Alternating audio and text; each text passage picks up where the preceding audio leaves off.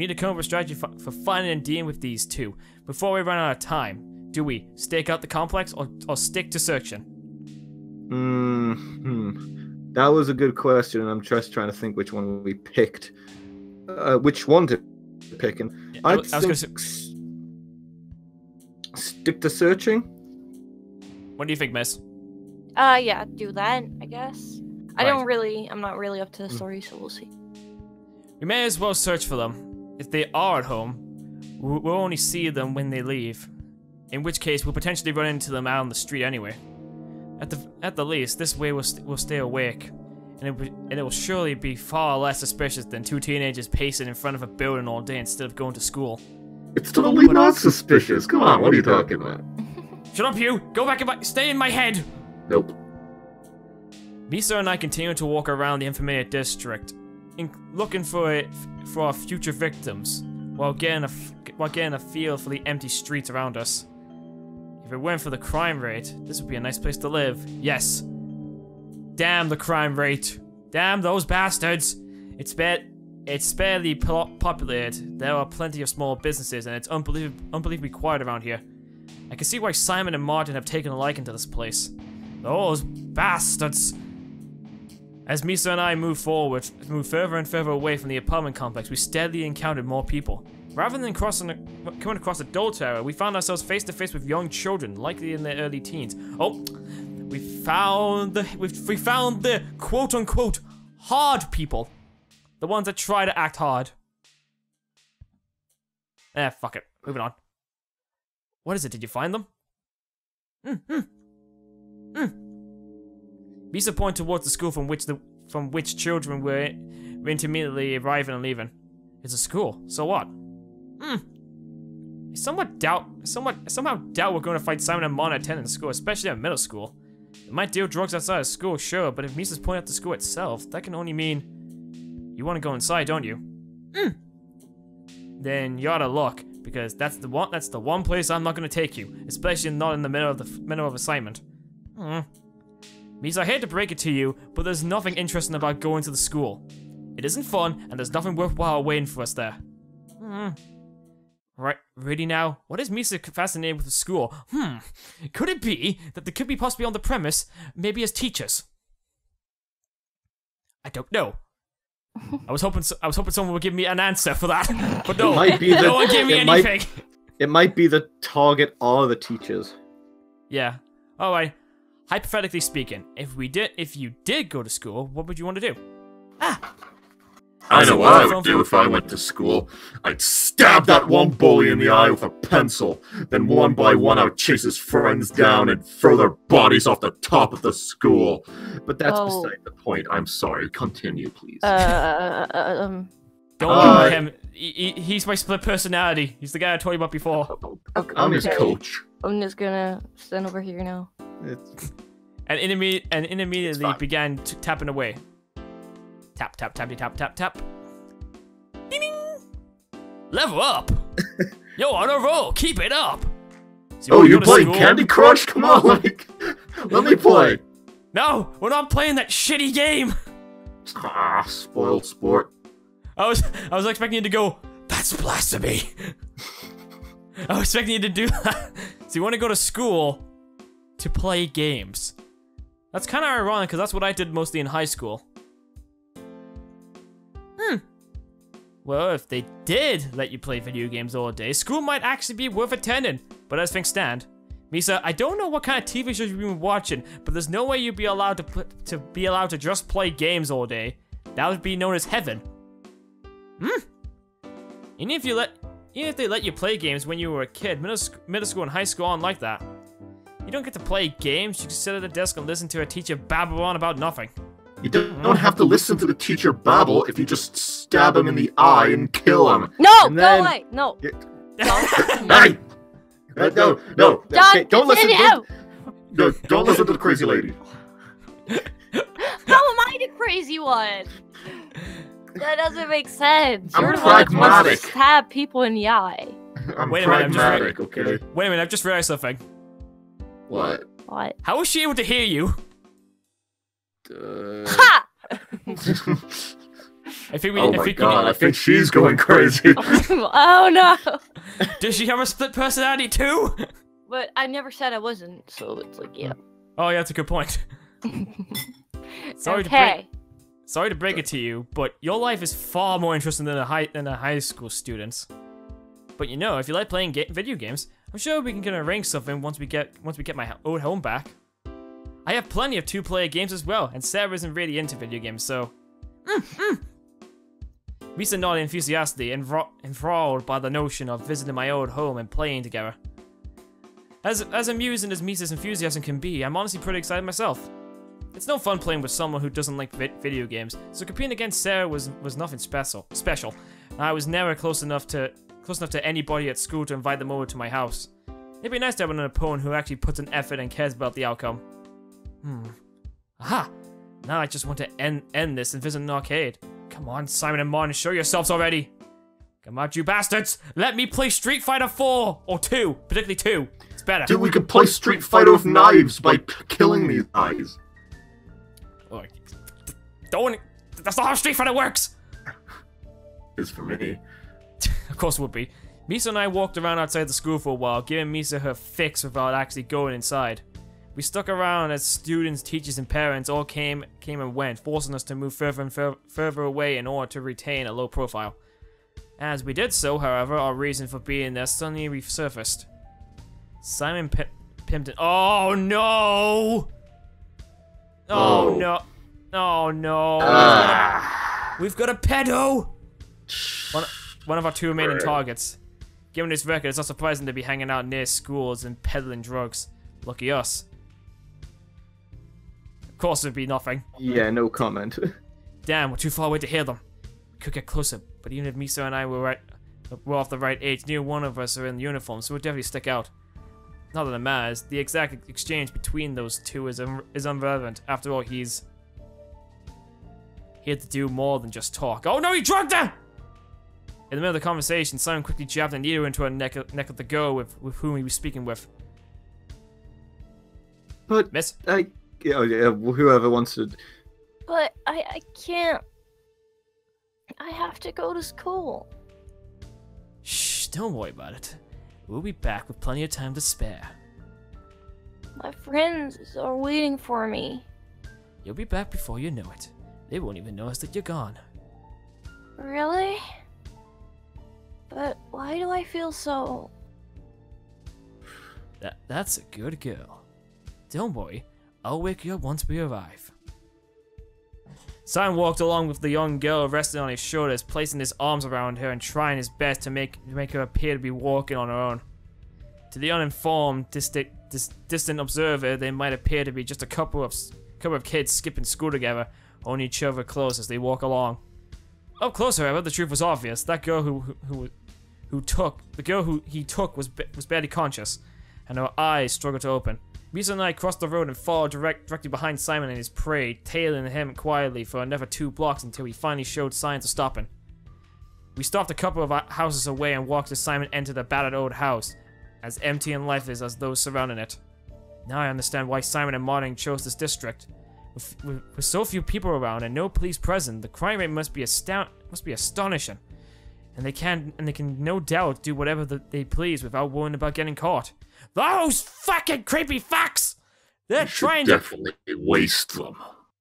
Well, like I think that was a given me, Mm, and, Yeah, and that but fact is even more about, so. is about to is about to become my advantage. Oh no, no! I don't want to see. I don't want to see underage boob. In- pursuit of Simon, Misa and I went went went around the around the side of the house, giving us a front front front row seat to witness this next stage of Simon's abduction. Upon peering into the house through the back window, it only took a moment to figure out what Simon had planned. Yeah. Barely conscious and struggling to move, the girl he had abducted had been laid out on, on, a, on a mattress in the middle of, middle of an unwise empty room, otherwise empty room. Her clothes were dis, disheaved. She she couldn't raise her voice in protest, and not not a single pass, passerby would know she was there. Wakey, wakey! It's almost time to play. Simon walked over to the girl's side, moving it, moving his hood, and smirked to himself as as he anticipated what he would co- what would come next. Don't talk. Just sit back and let me take you to heaven. Funny, I was thinking of sending you to somewhere a little, little different. Yeah. Wha uh, who, who's there? As Simon approached the girl, Misa and I crept inside. I grabbed Simon by the hair and immediately pressed my blade, up, blade to his throat, so he'd know better than to resist. Don't move. Who are you? What do you think you're? What part of "don't move" do you not understand? Listen, man, I don't know what I don't know what you want, but I, I can get it for you. Money, girls, blow, you name it, anything you want. Oh, anything I want, huh? Yeah, that's right. You want it? I've got it. What's your poison, friend? Well, now isn't that nice? It seems I've bagged myself a, mod a modern day genie. But there's only one thing I want from this scumbag. Martin Valti Valentine.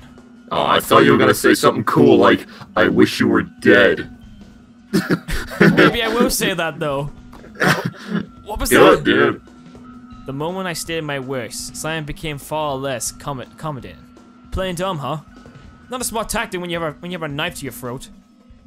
You said you'd get me anything I want. I want Martin Valentine. Martin Valentine? Never heard of him. What an awful lie. And in the face of a defiant target, Misa stepped in at last. From Uh, behind, she- Misa, I think you just fucking stabbed me instead. Well, we well the game's over now. We're dead now. well, we're dead too. I have a, I have like a really I have like Sue's got like the best poker face ever. He's like and he's he's going shit shit shit, but like he's just like just saying nothing. Yeah. But- but- Well done, Misa. Misa, we need to go to the hospital now. it's not for my stomach. From behind, she pierced Simon's body with, with her blade, easily cutting through bone and muscle with it until the red steel poked through the other side. But Simon didn't scream. Rather than display pain, he merely cried in disbelief. Oh god. Oh god, this can't be happening. The genuine shock on Simon's face told me that he had neither neither seen nor heard Misa until until it was far too late. Sorry about that, Simon. It seems my partner is getting impatient. We're on a deadline, you see, and we just hate to be late. Simon's expression didn't change. He merely continued to repeat his prayers and under his breath. Oh god! Oh god! God! He won't help you, Simon. Sinners don't go to God. Not even Oh. once. There's no hope for you. No If you hope wanna- at all. If you want to get out of this with the rest of your limbs still attached, tell us where to find Martin. N- no, I, I get it. I, I know why you're here. You're after her, aren't you? Huh? Well, strictly speaking, our job is to kill Martin and Simon. Nonetheless, a certain DA's daughter was mentioned in our assignment. Look, I'll tell you where she is, okay? You, you aren't too late. The, au- the auction's still at 3 p.m. An auction, huh? Neither. Apparently, neither party wasted any time negotiating this kidnapping. The kidnappers tur- turned the ransom into an auction. The girl's father commissioned the, ki- the, kid- the kidnapper's death. With each side playing their hand, the kidnappers flee to a to a nigh deserted district, hoping to evade detection until they offload offload their cargo. This is all coming together. Just let me go. I'll take you to her. I swear. You want it back alive, right? It- it's your job, isn't it? Simon continued to play, hoping to strike a minute um, a last minute bargain. Unfortunately for Simon, he completely mistook the reason mistook the reason for, for my presence. My job? Don't make me laugh. Do I look like a cop to you? I want Martin. And if you can't tell me where he is, then I'm gonna have to start removing your moving the flesh from your bones one limb at a time. Alright, alright! I, I get it. I'll, I'll talk, I'll talk, this is okay? more like it. I don't know where Martin is right now, but I do know where he will be. The auction? Th- that's right, at 3 p.m. He'll be hosting the auction. About 20 minutes away from here by foot. There is an abandoned church. Go there and you'll be- find them both. I see, so, Ma- so Martin isn't the kidnapper, but he's but also the auctioneer. I have a thought. I had a thought a man with a target on his back would be a little more careful about showing himself, but I guess he's just as careless as his partner here. So what happens now? I told you everything, just like you wanted. Are you gonna arrest me? I told you, we aren't the police. We we weren't hired to arrest you. We're here to kill you. That's my seal. Keep that up. Oh god damn it, we're in a fucking church too. This just seems way more ironic. After Misa slightly opened uh, Simon's torso within, from within, spilling out his guts on the floor in front of us, we headed back and began searching for the location of the auction. Although we didn't get an address or even a direction, the time estimated was was was enough for Misa and I to eventually locate the church in question. Once we had found and entered the church, Misa and I waited until 3 p.m., in which a few of our people began to show up. All middle-aged men, most of them wearing suits, they headed straight past us towards the back of the church, through a partially hidden door. A dozen or more so men entered before Misa, Misa made her move. She headed to the opposite side of the of the church, climbing up a, staircase leading to the rafters above. Hmm. From above, Misa pointed at me, then to the room the middle-aged men had entered. No need to tell me. That was the plan from the beginning. Welcome, one and welcome, one and all, to this week's in, in, in, insta, in wait install, Installment. of Who's Under That Curtain. Really? see a, yeah, I see a lot of familiar faces in the auction tonight, as well as a couple I don't recognize. But no matter how well we know each other, you're all in it. You're all in for a treat. By the time I entered the room, Martin had already begun to address myself, address myself and the other members of the crowd. Despite the nature of his auction, he showed no sign of, of being at, at all worried, likely thanks to his past experiences. As I'm sure you all know, we have a very special guest with us this week. Please welcome to the stage, Miss Cr- Miss C- Cassandra Bell. Clap. Uh, uh, okay. Martin removed the blanket from from un, from from, an, from over an armchair a few meters in front of the crowd, unveiling the prize he had been hiding underneath. Sitting the chair was a sleeping girl, no doubt drugged with whatever si- whatever Simon had been using, although with an unquestionable high dose. Rich, you want to do this one? Ah, it is really her. I thought this was a hoax, but he really does have her. The crowd seems to grow grow restless the moment the girl's face was unve- unveiled. Did these guys know this know this girl? I can understand them knowing her father, particularly if these men are criminal criminals themselves. But what connection do they have with her? Now that you've all been introduced, could I have I have some news for all of you. It seems Miss Bell is looking for a new home, and being and being the honest, hardworking person that I am, I'm here to make sure she gets what she wants. However, we can't have Miss Bell going home with, with just anybody. I need you all to prove to me that you really want to take her home. What is she, a puppy? Well, with that in mind, let's start the bidding at 1,000, shall we? $1,000 in the starting price? Oh man, these guys must be loaded. I could possibly outbid them na- nowadays, given how well I, how well I get paid, but 1,000! What? and 9,000! Uh, on second thought, maybe I couldn't win this auction. I understand that home, home the DA's daughter hostage is a, is a good leverage, but $9,000? I compare that lawyer would be cheaper, if only slightly. My oh my, we have some generous bidders in the audience tonight. What do you say, Miss Bell? Is 9,000 the magic number? I can't hear you because we've also we've also gagged your mouth. and drugged her, you know. So it's Oops, tough, tough look, partner. It seems Miss Bell has been brought up on the high life and will be will need a little more than that. But the game isn't over yet, so show you show the love and splash some cash before this it before this once in a lifetime opportunity passes you by. Miss, you wanna do this- Fifteen thousand. I was Oh, gonna say that sorry. Miss do it. Just a Sorry. girl bidding on a girl, you know. Yeah, yes, exactly. girl power. add that line if you want to do it. We could, we could, we could surely like just say it. oh, ok- okay. Fifteen thousand. What the Perha- hell? There's a woman here. Fuck you! I knew this was gonna. hey, fuck you! I want. no, I want her first. no, I want her. Who the hell are you? I'm the guy boy. from. I'm the guy from the YMCA. Oh. You're that guy, huh? Perhaps prompted by Martin's lunacy, one final bidder cried out, leaving the others to mu- to murmur between themselves as they com- contemplate going higher.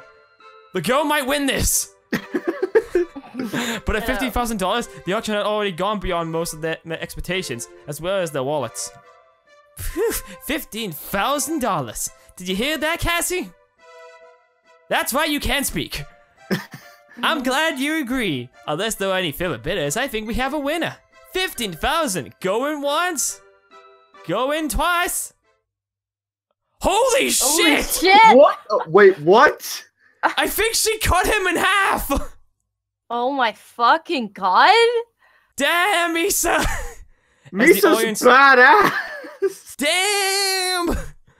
As the auction threatened to end, Misa at last descended from the church rafters, delivering judgment like a guardian angel. She flo- she gently floated to the floor, clutching her blade in both hands and, and cloaked in a nun's habit, and hid her, her face concealed. Oh! She is wearing a nun outfit! What's wrong, eh, folks? Why is everyone... But Mona began began to turn around, spluttered on the spurred on by by the stairs of his audience. Oh, I was completely unaware of what happened. The left and right side of his body separated, coating the floor beneath with a mass of, with a mass of intestines. Shock and disbelief quickly turned into panic as the bidders realized what had happened. The auctioneers literally fell to pieces, leaving the obvious question on their minds: Would they be next? Do they still get their purchase? D- I think I think the lady. I, think want the my lady, girl. Shut up! I'm getting my girl. No, she's mine. No, she's mine. Bid fifteen thousand, and I'm gonna get her. No, she, need- no, she's mine. Who Back the hell are you? I'm, up. Fla- I'm Flazell Williams. She's mine. No, Get out of the way. Starts, he, just, he just starts pimp slapping everyone out the way. Get out of the way. She's my hoe now. Get out of the way, hoe. I demand you leave her alone. She is. Get, get, get ah! out of the way. Get out of the way. Get out of the way, nigga. as, as, as the last of the bidders rushed out of the room, I walked over to Misa, who had wiped the blade, the blood off her blade, and onto the robes she had cloaked herself with. Then stepped over to Mon's corpse and inspected the prize out of the of the auction before turning to Misa, wondering exactly what we should what we should be doing. And That little all Indian I said girl- to her was, "That was The little Indian girl was still partially conscious, and nobody would nobody would think to enter an abandoned house decorated with disembodied corpses. So it ought to be safe. But what about Cassandra? Those men all, all know where she is, and with the auctioneer now deceased, the girl herself is still unconscious, and anyone could abduct her. Screw it. It may not be the job, but the least I can do is phone an anonymous tip to the police. I wonder if there are any payphones around. Oh yeah, that's right. We can't technically use our phone. That's right. Ah, back so soon, Sai. You only left ten minutes ago. I left five hours ago. Have you Really? been drinking? No, uh, no. I, I don't know what you're talking about. you You, you know what, Sai? We we need another. We need a daughter. We need a, a daughter. We are not having this conversation. Come on! You know it'd be great No! for me, for sir. Let's have another kid. No! Oh, you spoil sport. But that's beside the point. I am here because I have news. Oh, and pray tell what that would be. What else? The girl has been success uh, recovered successfully, and Senator Bell would like to thank you personally. He would. You're kidding. Of course I'm kidding. He didn't even send his thanks. Well, that's son of a bitch. Well then, I guess we have to pay someone to nuke his house then. So, take this nuke over to the house. How do I use a nuke? Mm, however, he The ship was that? bitch. Uh, hello, sorry, What? still here. Uh, sorry, I, I must have disconnected. Let me say that again. Yeah, please. Right. However, he did promise to keep up his end of your agreement. You can now have his daughter. Hmm. Time to Soho into prostitution. I heard this guy named Flozzo Williams has had, has had his eye on her. Yes, indeed.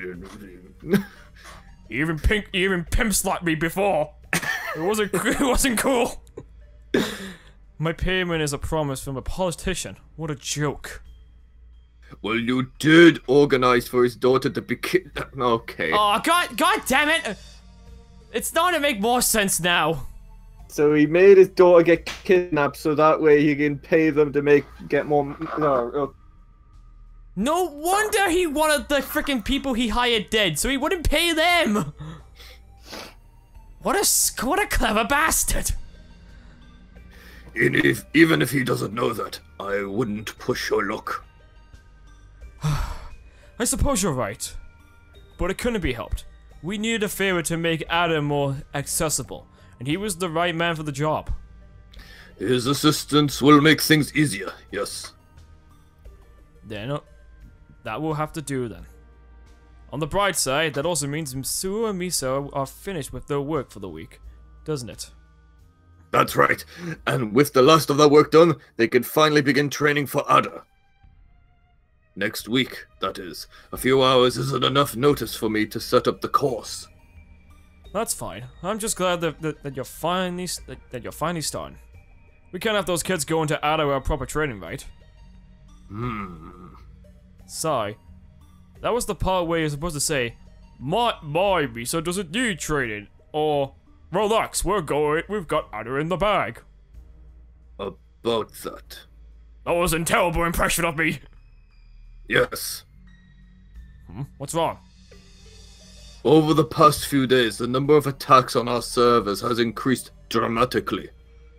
They found out that we have porn. They want our porn. What do we do? Not the, not the porn!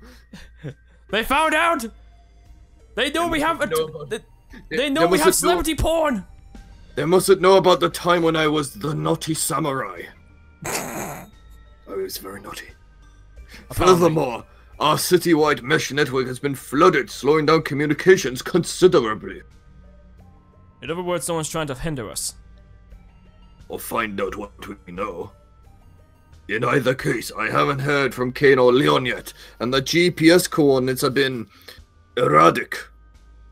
You think one of them was behind this? It's possible, but I'm working under the impression that they disappeared in the same manner as Violet and Vincent, and others before them. Ah, so we're back to that again, huh? Someone is killing off your team, and we still don't know who it is. This all started when we began investigating Ada. I think it's safe to say who is behind it. Knowing that, do you still plan to continue? How confident are- you that Misa, Su, and yourself will be able to pull this off? Even without Senator Bell's help, our success is 100% certain. Hmm, I see. Then we shall continue as long as the three of you remain. You, of you remain. We have our team. Starting next week, you will be. You will all dedicate your time to training for this operation. I will accept no further work on your behalf.